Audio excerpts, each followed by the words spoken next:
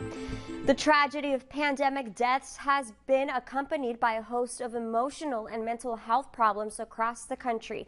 Isolation, job losses, and crowded quarters at home have all contributed to this, not to mention the grief suffered by those who've lost loved ones. And apparently, alcohol abuse may have increased as well, according to a new survey. Nearly one in five Americans report that they are consuming an unhealthy amount of alcohol. The survey was commissioned by Ireland based biopharmaceutical company Alkermes and performed this past spring, spring by the Harris Poll, an analytics firm. Roughly 17% of those surveyed reported heavy drinking within a 30-day period that corroborates other recent studies indicating Americans have been buying more alcohol and drinking more often.